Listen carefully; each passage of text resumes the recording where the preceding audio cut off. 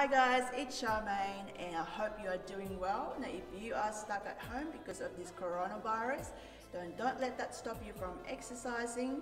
Try these four simple moves just using a chair and that will get you moving. Let me know how you go. First move is